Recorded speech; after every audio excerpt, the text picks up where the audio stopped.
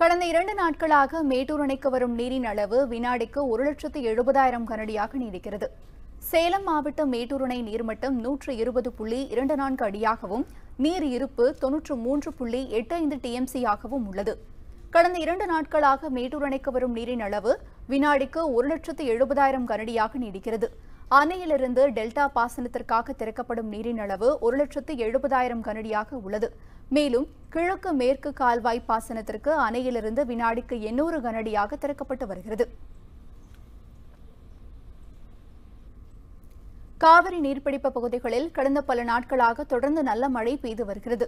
இதனால் கர்நாடகாவின் கேஆர்எஸ் அணையிலிருந்து ஒரு லட்சத்து இருபதாயிரம் கனடியும் கபினி அணையிலிருந்து எண்பத்து ஆறாயிரத்து தொள்ளாயிரம் கனடியும் வெளியேற்றப்படுகிறது.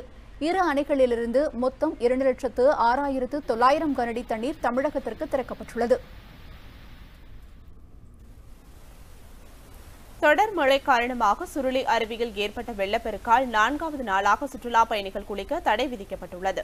மேற்கு தொடர்ச்சி மலைப்பகுதியில் பெய்து வரும் கனமழை காரணமாக தேனி மாவட்டம் கம்பம் அருகே உள்ள சுருளி அருவியில் வெள்ளப்பெருக்கு ஏற்பட்டுள்ளது. இதனால் சுற்றுலா பயணிகள் குளிக்க வனத்துறையினர் நான்காவது நாளாக தடை விதித்துள்ளனர்.